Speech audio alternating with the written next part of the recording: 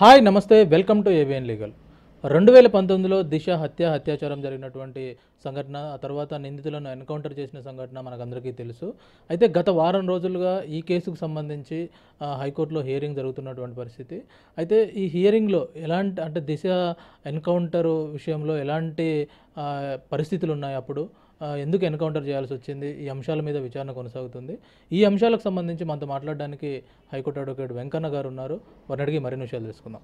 Sir చెప్పండి ఈ దిశ అత్యాచారం జరిగింది తర్వాత ఎన్కౌంటర్ కూడా జరిగింది. అయితే పోలీస్ వాళ్ళకు ఎన్కౌంటర్ చేయడానికి ఎలాంటి పరిమితులు ఉంటాయి? అసలు ఎన్కౌంటర్ అనేటువంటి పదమే జనాలలో ఆమోదించబడేంత ప్రచారం జరిగిపోయింది అసలు.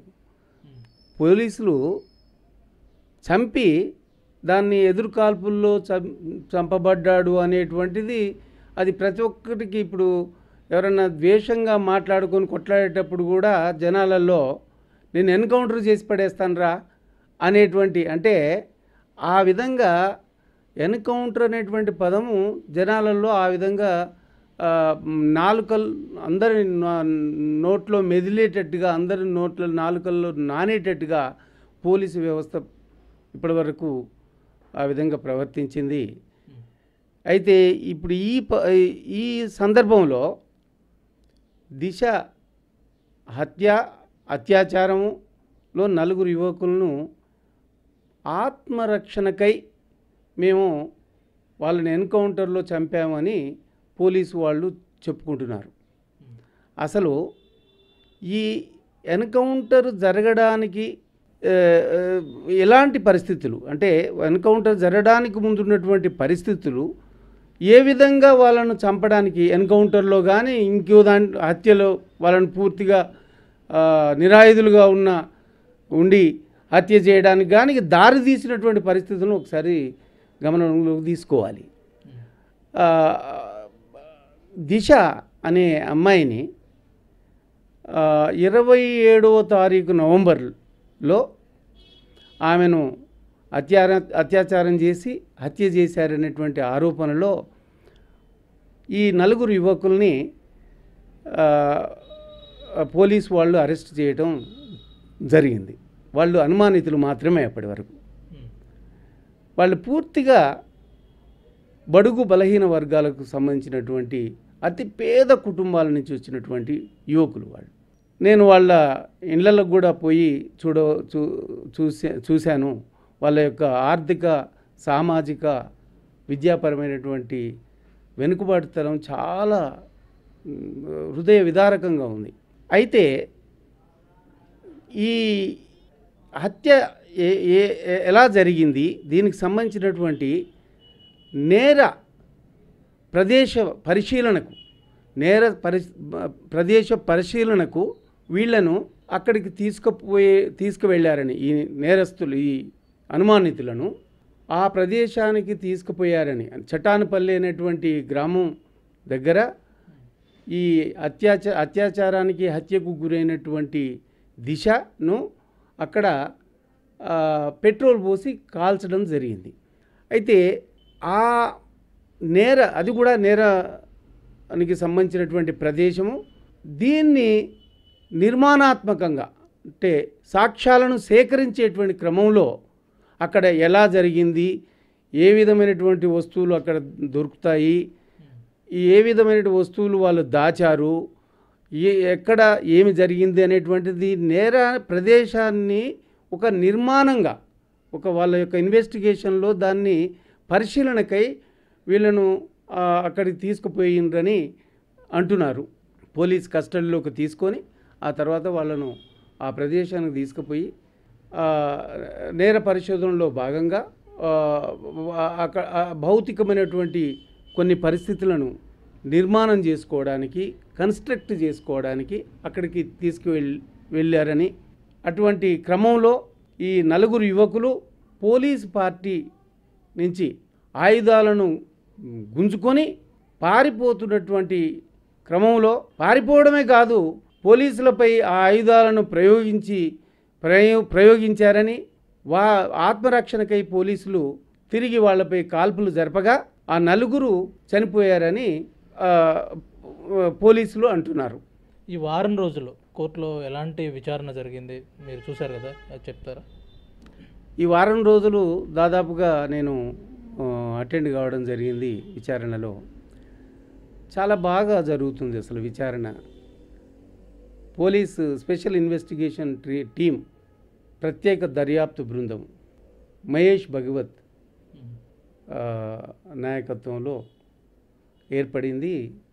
వాళ్ళంతా కూడా ఈ సుప్రీంకోర్టు ఆదేశాల మేరకు నేరం ఈ- ఎన్కౌంటర్ పరిస్థితులకు దారి తీసినటువంటి పరిస్థితులు ఎన్కౌంటర్ జరగడానికి ముందు ఉన్నటువంటి పరిస్థితులు ఎన్ ఎన్కౌంటర్ జరిగినటువంటి పరిస్థితులు రెండింటిని.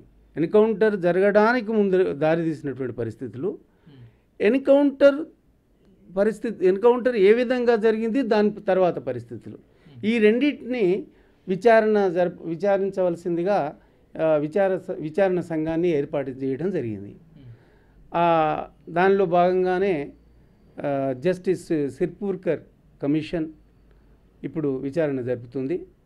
దాంట్లో సంఘం తరపు నుంచి విచారణ సంఘం తరపు నుంచి అడ్వకేట్లు తర్వాత నిందితుల తరపు నుంచి అంటే బాధితుల తరపు నుంచి బాధిత కుటుంబాలకు సంబంధించినటువంటి పిటిషన్స్ అనేకంగా జరిగినాయి. అయితే ఇప్పుడు మాత్రం పోలీసులను వా ఆ ఇన్వెస్టిగేటింగ్ ఆఫీసర్స్ను ఆ దర్యాప్తు ఆఫీసర్ అయినటువంటి సురేందర్ రెడ్డి గారిని ఇప్పుడు విచారణ జరుపుతున్నారు. ఆ విచారణలో వాళ్ళు ఏ విధంగా ఎలాంటి పరిస్థితులలో వాళ్ళు చంపబడ్డారు చనిపోయారు ఆత్మరక్షణ అనేటువంటిది ఎలా జరిగింది? నిజంగా అది ఆత్మరక్షణేనా? లేకపోతే ఏకపక్షంగా వారిపై కాల్పులు జరిపారనేటువంటి దాని మీద సమగ్రమైనటువంటి విచారణ జరుగుతుంది. అంటే ఈ విచారణ ఇంకా ఎన్నాళ్ళు పట్టొచ్చు? ఇప్పటికే టూ ఇయర్స్ అయింది కదా. ఇంకా ఎన్నాళ్ళు పట్టొచ్చు అంటారు? వాస్తవంగా మొదట్లో ఈ ఆరు నెలల్లోనే ఈ విచారణ సంఘం న్యాయ విచారణ సంఘం దర్యాప్తు చేసి వారి రిపోర్ట్ని ఇవ్వవలసి ఉంది. కానీ మధ్యన ఈ కోవిడ్ మూలాన అది బాగా డిలే అయింది. మొన్న ఫిబ్రవరిలో దాన్ని మళ్ళీ ఒక ఆరు నెలలకు ఎక్స్టెన్షన్ తీసుకున్నారు మళ్ళీ. బహుశా తొందరగానే తొం- తొందరగానే కావచ్చు. ఇంకా అవసరం అనుకుంటే సుప్రీంకోర్టును ఇంకొక కొంచెం గడువు అడిగేటువంటి అవకాశం కూడా ఉంది. ఈ అంటే ఈ కేసు విషయంలో పోలీసులు దోషులుగా తేలారనుకోండి ఎలాంటి శిక్ష పడుతుంది? ఎవరెవరికి శిక్ష పడే అవకాశం ఉంది? ఈ మొత్తము సంఘటన ఇప్పుడైతే ఎన్కౌంటర్కు గురి చనిపోయినటువంటి వ్యక్తుల వ్యక్తుల యొక్క విషయంలోనే విచారణ జరుగుతుంది. పోలీసులు ఏమంటున్నారంటే మాకు మేము ఆత్మరక్షణకే వాళ్ళపై కాల్పులు జరపడం జరిగింది. వాళ్ళు మా ఆయుధాలు గుంజుకొని పోయి పోవడం వలన మేము వాళ్ళపై ఆత్మరక్షణ మళ్ళీ తిరిగి వాళ్ళు మాపై దాడి చేయడం వలన మేము వాళ్ళపై కాల్పులు జరిపాము. ఆత్మరక్షణకే మేము చంపా చంపవలసి వచ్చింది. మా మేము నేరస్తులం కాదు. మాకు చట్టంలో అలాంటి మినాయింపు ఉంది అని అంటున్నారు. ఇలాంటి మినాయింపు పోలీసులకు మాత్రమే లేదు. ప్రైవేట్ వ్యక్తులకు కూడా ఉంటుంది. కానీ వాళ్ళు కోర్టు ముందు నిరూపించుకోవాలి. మేము ఆత్మరక్షణ మా ఆత్మరక్షణ అనేటువంటి హక్కును వినియోగించుకొని మేము వాళ్ళను చంపవలసి వచ్చిందని ఆ బాధ్యత ఆ నిరూపించుకోవాల్సినటువంటి బాధ్యత ప్రైవేటు వ్యక్తులకు ఎంతైతే ఉందో పోలీసులకు కూడా అంతే ఉన్నది. దీంట్లో ఈ ఈ వీళ్ళని ఎన్కౌంటర్ చేసినటువంటి సంఘటనలో కేవలము ఆ ఆ కాల్పులలో ఆ కాల్పులకు కాల్పులు జరిగినటువంటి పోలీసు బృందమే దీనికి కారణం అని నేను అనుకోవట్లేదు.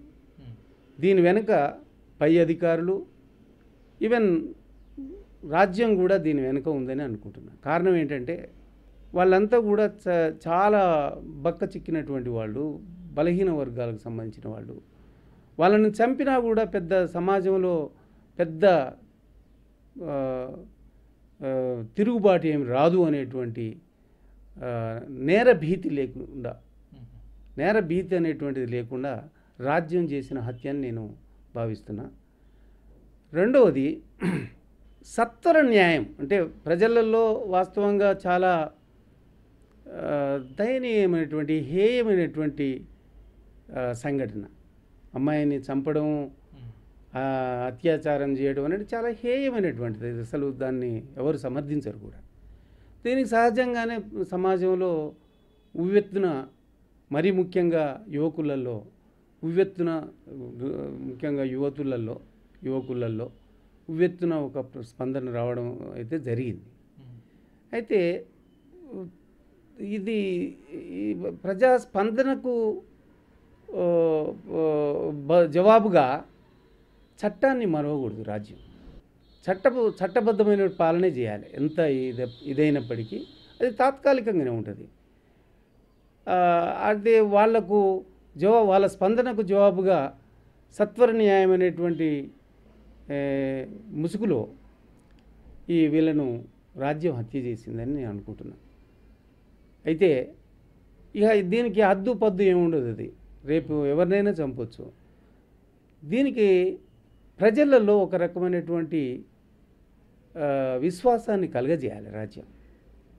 చట్టబద్ధ పరిపాలన చేస్తుందని న్యాయం న్యాయం చట్టాలు ఉన్నాయని పోలీసులు చట్టాన్ని వారి చేతిలో తీసుకోరని అనేటువంటి నమ్మకాన్ని ఇవ్వాలి. ఇవ్వవలసినటువంటి బాధ్యత రాజ్యానికి ఉంటుంది.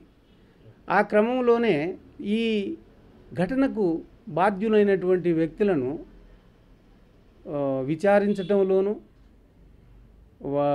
తర్వాత ఈ న్యాయ సంఘాన్ని విచారణ సంఘానికి సహకరించడంలోనూ రాజ్యం చాలా సహకరిస్తుందని దానికి అన్ని విధాలమైన ఏర్పాట్లు చేస్తుందండి. వాళ్ళ యొక్క సిన్సియారిటీని నిరూపించుకుంటుందని నేను ఆశిస్తున్నాను